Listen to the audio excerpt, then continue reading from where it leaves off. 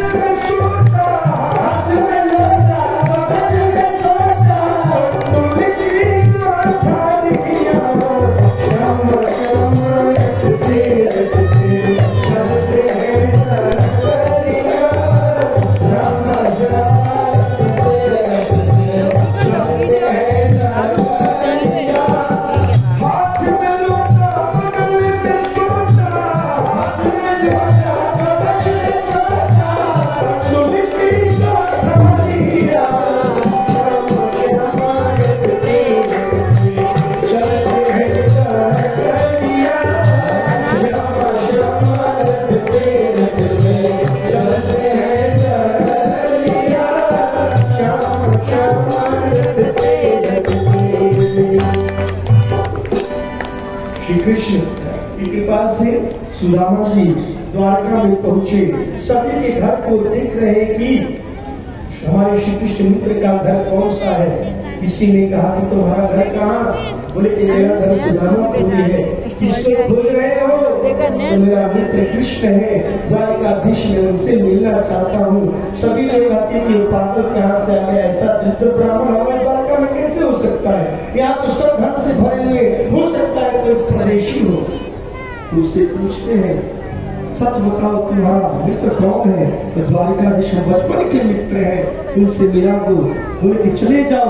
वो जो है दरवाजे पर जो द्वारपाल खड़े हैं, हाथी घोड़े हैं, और जो बड़ा सा महल दिखाई दे रहा है सोने का, वही जो है द्वारकाधीश जी का महल है।